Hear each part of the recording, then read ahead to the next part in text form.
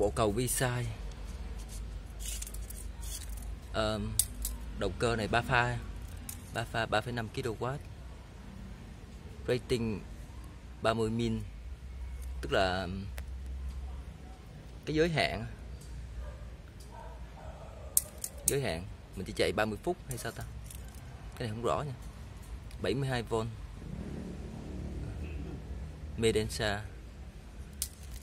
Một bên là động cơ nha động cơ rất là lớn. 180mm 18cm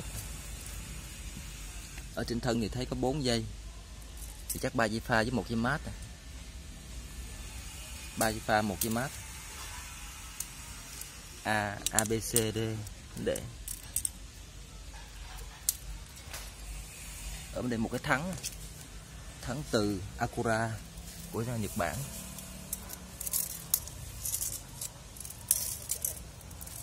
Thắng này kích thước lớn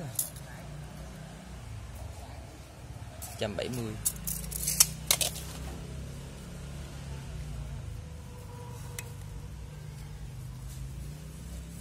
thắng 24V Acura.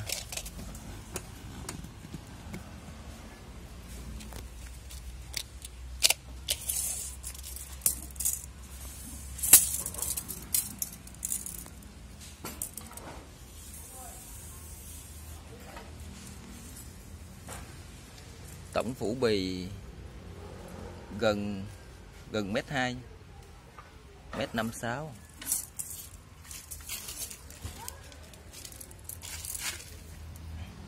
Đường kính bánh khi bơm lên hết cỡ thì ờ, 450 450 bánh bề ngang hả? 20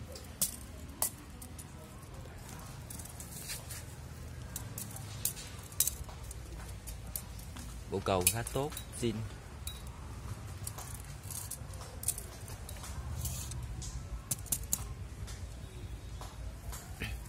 hai bên có thắng luôn nha? Có thắng. Có thắng cả hai bên.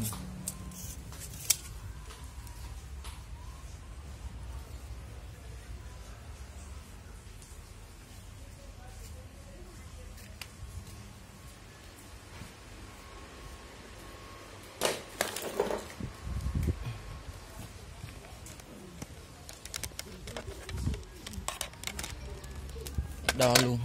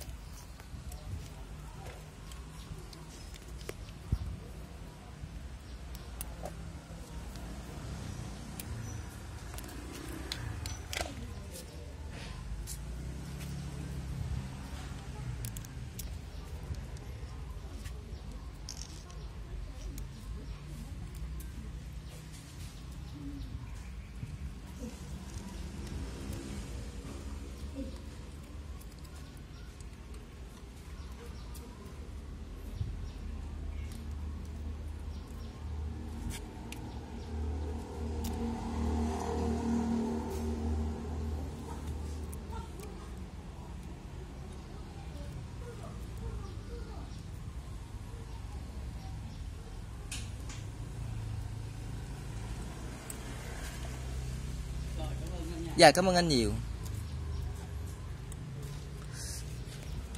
Động cơ này giống DC quá. Nó có hai cặp dây. Một cặp này sống, Một cặp này với một cặp này. Chắc phải mở ra quá. Bữa nay mình sẽ mở ra.